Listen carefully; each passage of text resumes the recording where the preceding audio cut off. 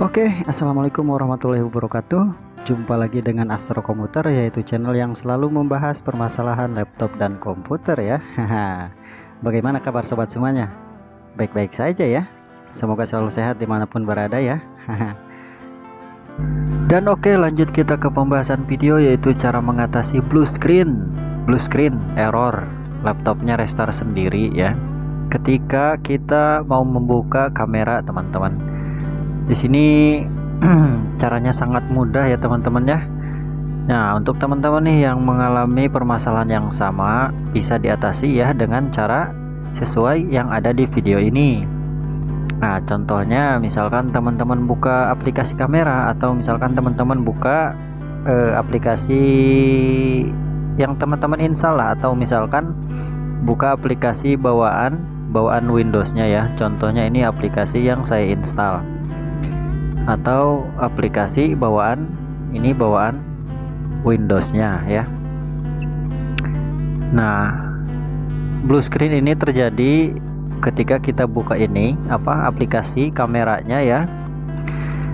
Biasanya ini blue screen ketika muncul di sini tapi ini enggak blue screen ya. Dan kita coba buka kamera ini. Nah nanti dia akan macet teman-teman. Seperti ini macet terus langsung layarnya hitam. Eh hitam. Hitam. Biru seperti ini teman-teman. Ada cemberut ya. Ini tuh dia error. Nanti dia restart sendiri. Jadi kita nggak bisa buka nggak bisa buka kamera. Sedangkan kamera sendiri kan kita ngebutuhin gitu buat zoom buat uh, belajar online gitu kan. Kamera sangat diperlukan sekarang ya teman-teman ya maka dari itu saya upload saja deh untuk khusus teman-teman nih yang lagi mengalami masalah sesuai yang sama dengan video ini. Maka silahkan ikuti langkah-langkahnya ya. Caranya mudah teman-teman. Gak ribet cara ini aman. Dan saya berharap banget cara ini bisa membantu apa yang teman-teman eh, sedang alami. Oke untuk caranya sendiri ya teman-teman itu buka file explorer ya. Caranya buka file explorer. Di sini yang di bawah ini yang kuning. Selanjutnya teman-teman klik kanan di disk ini pilih manage. Nah pilih manage ya. Nah nanti akan ada tampilan. Sebentar. Nah tampilan seperti ini. Teman-teman pilih device manager ya nanti akan ada tampilan bermacam-macam driver di sini. Driver-driver ya banyak sekali driver di sini. Nah di sini kita fokus ke driver kamera. Di sini kan ada image device ya ini driver kamera. Ada sebagian laptop juga driver kamera namanya kamera. Ini namanya image imaging device ya. Yang harus teman-teman lakukan adalah di sini teman-teman klik kanan klik kanan pilih update driver. Pilih browse my computer for driver. Nah pilih let me fix ya. Pilih yang bawah ini. Nah di sini teman-teman pilih USB video device ya. Silahkan klik dan pilih next.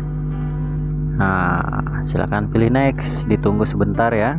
Nah jika sudah seperti ini silahkan klik close. Dan teman-teman di close aja file explorernya ya. Tampilan ini juga silahkan teman-teman close. Dan silahkan teman-teman coba lagi kameranya. Apa masih blue screen? Apa sudah benar? Kita coba buka ya. Nah satu dua tiga. Eh wak mau nah udah bisa ya teman-teman ya jadi udah nggak bisa blue screen lagi teman-teman. Ini sudah normal jadi untuk teman-teman yang mau zoom atau Google Meet gitu kan ini sudah bisa kameranya sudah normal teman-teman. Sudah bisa dipakai. Itu terjadi karena apa mas? Karena drivernya kurang cocok teman-teman.